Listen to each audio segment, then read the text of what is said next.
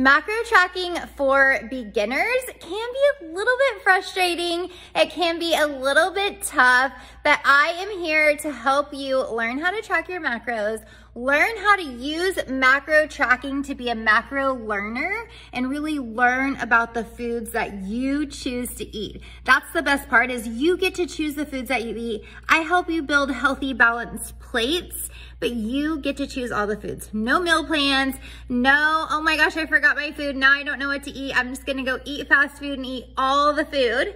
You choose what food you eat. You get to pick all the things. You get to learn about those foods and learn how they affect your body through macro tracking. So if you've ever tracked before, you got overwhelmed and you quit, maybe you should try it again because I am here to help you in a way that will serve you, in a way that will help you be a macro learner instead of a macro dieter.